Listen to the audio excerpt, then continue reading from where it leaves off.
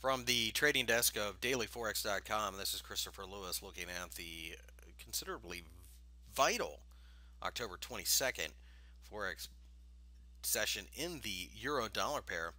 Quite frankly, this analysis could probably be done on anything involving the USD at this point, but using the euro as a nice proxy because you basically have the euro as the anti dollar.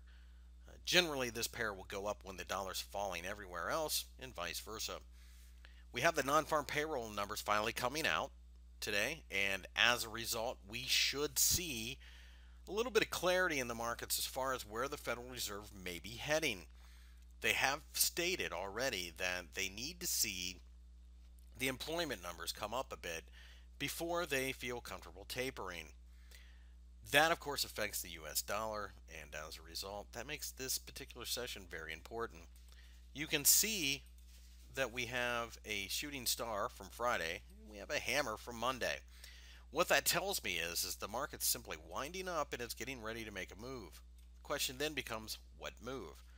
The non-farm payroll numbers being weak would mean that the dollar is going to be weak as well, and we should take off to the upside.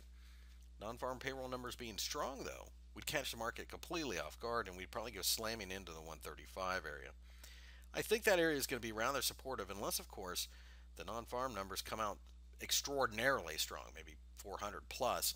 I don't see that happening. So, truthfully, I'm inclined to go ahead and go long. But uh, once those numbers come out and we break the top of the shooting star, that pretty much solves the entire question for me. And I believe we hit 140.